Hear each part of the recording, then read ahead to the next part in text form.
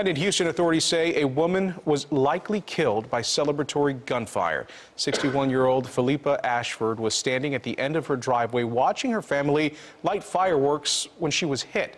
Authorities say they're still not sure where that bullet came from, but no one in the immediate neighborhood was shooting a gun at the time.